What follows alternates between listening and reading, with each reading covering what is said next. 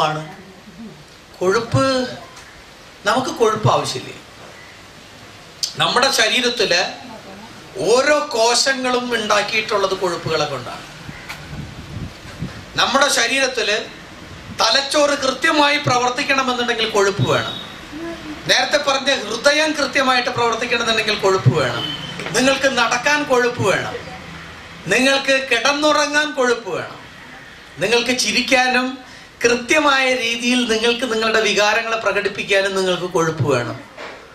കൊഴുപ്പില്ലാന്നുണ്ടെങ്കിൽ നിങ്ങൾ ഇരുപത്തൊന്ന് ദിവസത്തിനുള്ളിൽ തട്ടിപ്പോകും. അപ്പൊ കൊഴുപ്പ് എങ്ങനെയാണ് വില്ലനാകുന്നത് എന്ന് ചോദിച്ചാൽ കൊഴുപ്പ് കൃത്യമായ രൂപത്തിലല്ലാതെ ഉപയോഗിക്കുമ്പോഴാണ് വില്ലനാകുന്നത്. കൊഴുപ്പ് നമുക്ക് ആവശ്യമാണ്. കൊഴുപ്പില്ലാതെയൊന്നും ഒരു ഒരു മനുഷ്യ ഒരു കോശം എടുത്തു കഴിഞ്ഞ് അതിലത്തെ കൊഴുപ്പ് മാറ്റി കഴിഞ്ഞാൽ പെട്ടെന്ന് ചത്തു. വേറെ ഏത് അതിന്റെ ഉള്ളിലുള്ള അവയവങ്ങൾ എടുത്ത് മാറ്റി കഴിഞ്ഞാലും ഇരുപത് ഇരുപത്തഞ്ച് ദിവസമൊക്കെ ജീവിച്ചിട്ടാണ് ആ കോശം മരിച്ചു പോവുള്ളൂ. പക്ഷെ അതിന്റെ ഉള്ളിൽ നിന്ന് കംപ്ലീറ്റ് കൊഴുപ്പിനെടുത്തങ്ങോട്ട് നിങ്ങൾ മാറ്റുകയാണെന്നുണ്ടെങ്കിൽ അപ്പോൾ തന്നെ കോശം മരിച്ചു പോകും.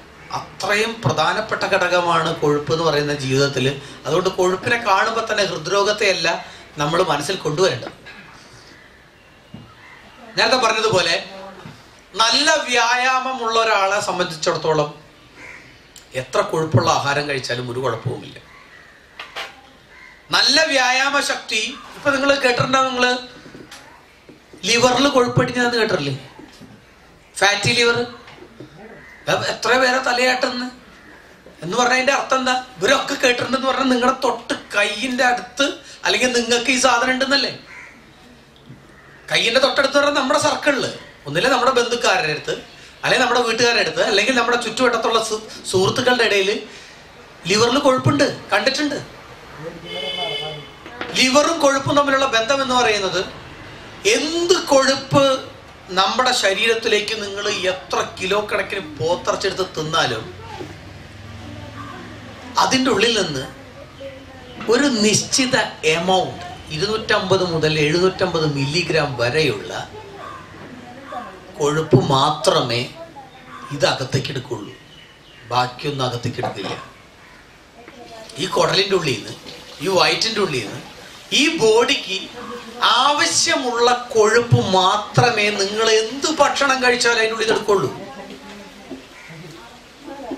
ഇതെടുത്തതിന് ശേഷം ഇത് ആദ്യം കൊണ്ടു ചെല്ലുക ലിവറിന്റെ അടുത്തേക്കാണ്.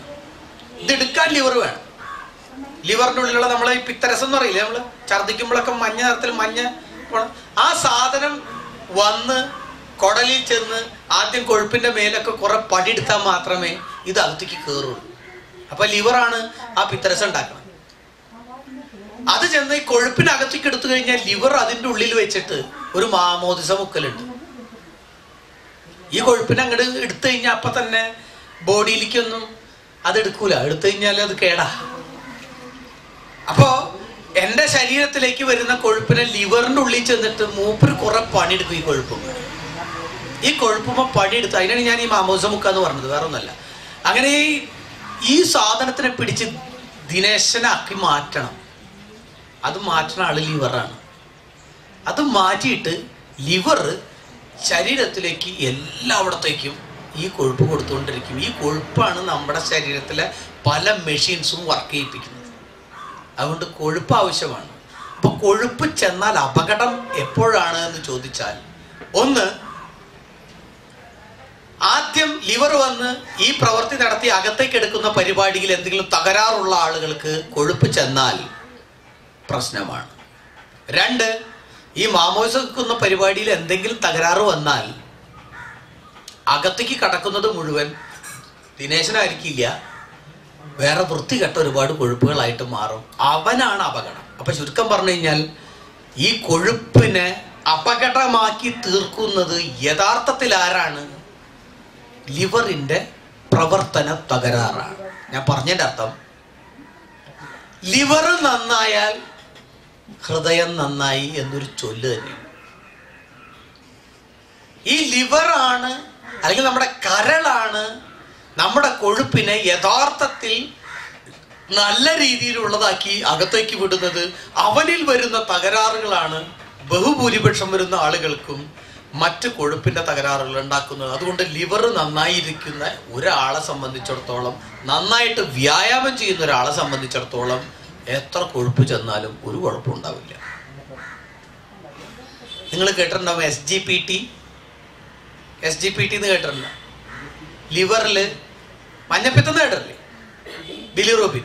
ഇപ്പോ ഹെൽത്ത് ചെക്കപ്പ് ഒക്കെ നടത്തുമ്പോൾ നിങ്ങൾ നോക്കിക്കോ കൊളസ്ട്രോൾ കുറെ ടൈപ്പ് നല്ല കൊളസ്ട്രോൾ പൊട്ട കൊളസ്ട്രോൾ എന്ന് പറഞ്ഞിട്ട് കുറെ ഉണ്ട്. ഇതിന്റെയൊക്കെ ഒപ്പം ലിവർ ഫങ്ഷൻ കൂടി അങ്ങോട്ട് ചെയ്യും. ഒരുപാട് കൊളസ്ട്രോൾ ഉള്ളവർക്ക് കാണാം ലിവർ ഫങ്ഷനിൽ കുറച്ച് വ്യത്യാസം കാണാം. എസ് ജി പി ടി എന്നൊക്കെ പറഞ്ഞിട്ടുള്ള ചില സാധനങ്ങൾ ഇങ്ങനെ കൂടി കിടക്കുന്നതാണ്. ഏറ്റവും ഡേഞ്ചറസ് ആയിട്ടുള്ള കൊളസ്ട്രോൾ അതാണ് അതുകൊണ്ട് നിങ്ങൾ ഇനി മുതൽ കൊളസ്ട്രോൾ ചെക്ക് ചെയ്യാൻ പോകുമ്പോൾ നിങ്ങൾ ചെയ്യുമ്പോൾ ഒപ്പം അവരോട് കൂടി പറയുക ആ ലിവർ ഫങ്ഷനും കൂടി ഒന്ന് നോക്കിക്കോളൂ കേട്ടോ എന്ന് പറഞ്ഞു. കൊളസ്ട്രോൾ മാത്രം നോക്കി പോരണ്ട. ആ ലിവർ ഫങ്ഷനും കൂടി ഒന്ന് നോക്കിക്കോളൂ എന്ന് പറയുക. ഇത് രണ്ടും കൂടി ചെന്നാൽ കിട്ടുന്ന ഇൻഫർമേഷൻ ഭയങ്കര വ്യത്യാസമാണ് ഞാൻ നേരത്തെ പറഞ്ഞത് ഇറച്ചി മൊട്ട മീൻ തുടങ്ങിയായിട്ടുള്ള മാംസാഹാരങ്ങൾ അല്ലെങ്കിൽ നോൺ വെജ് ഫുഡുകൾ വില്ലനാകുന്നത് ലിവറിന് പ്രശ്നമുണ്ടാകുമ്പോഴാണ് അല്ലെങ്കിൽ ലിവറിന് പ്രവർത്തനത്തിൽ ഉണ്ടാകുന്ന തകരാറ് കൊണ്ടാണ്. ലിവറിന്റെ പ്രവർത്തന തകരാറിൽ ഏറ്റവും പ്രധാനപ്പെട്ട ഘടകം അത് സംഭാവന ചെയ്യുന്ന ആളുകളാണ് ഞാൻ നേരത്തെ പറഞ്ഞ എരിവ് പുളി ഉപ്പ് മദ്യം. മദ്യം. അപ്പൊ മദ്യപാനം. ഏതാ? ഇല്ല ഇല്ല ഇല്ല, ഇല്ല മധുരത്തിൽ പെടുന്നതല്ല. മദ്യപാനം. മദ്യപാനം ലിവറിനെ കംപ്ലൈന്റ് ആക്കി കഴിഞ്ഞാൽ ഓട്ടനടി ഈ പറഞ്ഞതുപോലെ തന്നെ ഈ മെക്കാനിസം മുഴുവൻ തകരാറിലാവും. അതും ഈ പറയുന്ന പ്രശ്നത്തിലേക്ക് കൂടുതൽ ആക്കം കൂട്ടുന്നതാണ്. മധുരമുള്ളത് എപ്പോഴാണ് പ്രശ്നം